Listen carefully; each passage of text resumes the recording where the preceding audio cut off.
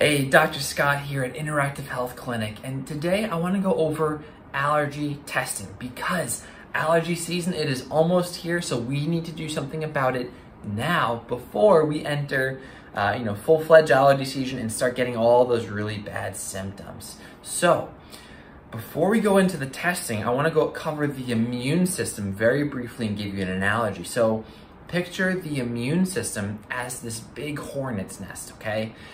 If we're not poking at that nest, the bees are fine. They're just flying around, they're doing their thing, and they're good. However, when you start to poke at it, what are those what are those bees gonna do? They're gonna they're gonna go all over the place, they're gonna sting you, they're gonna they're gonna cause a lot of symptoms.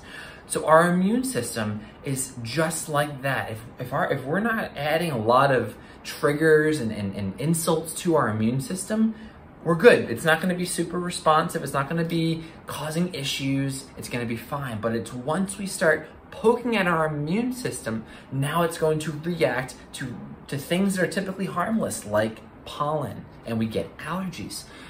What are the things that can poke at that immune system? Some really important things to think about are going to be food sensitivities, and particularly IgG and IgA food sensitivities.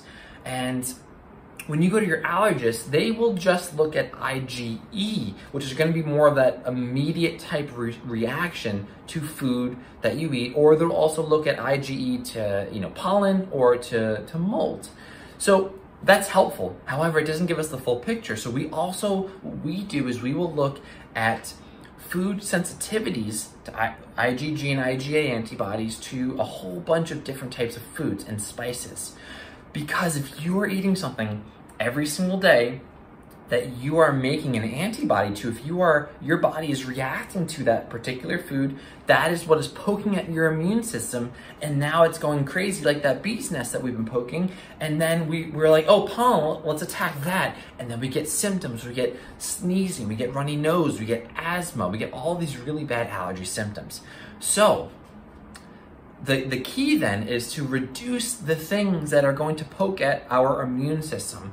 And one of the best ways we can do that is to do testing. So not only can we look at IgE uh, reactions to mold and to pollen and to foods, but we can also do blood work to look at your food sensitivities, your reactions to food looking at IgG and IgA antibodies. So we need to get this full picture so we can help you as best as we can. And we can also look at some other blood work like histamine levels in the blood. And we can also look at um, matrix metalloproteinase number 9 or MMP9, which is a great way of telling us the histamine level in your body, in your blood, okay? So Moral of the story, we need to reduce the amount of things that are poking at our immune system so we can, our immune system can calm down and stop attacking the pollen and the other things in our environment, all right? And if you wanna learn more about our interactive approach to personalized medicine, please go ahead and give us a call or go to our website at interactivehealthclinic.com. All right, take care, and I look forward to speaking with you soon.